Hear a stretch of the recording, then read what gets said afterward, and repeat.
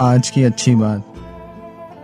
रसूलुल्लाह सल्लल्लाहु अलैहि वसल्लम ने फरमाया, जो शख्स किसी मकाम पर ठहरे और ये दुआ पढ़े तो इस मकाम से रवाना होने तक कोई चीज़ नुकसान नहीं पहुँचाएगी।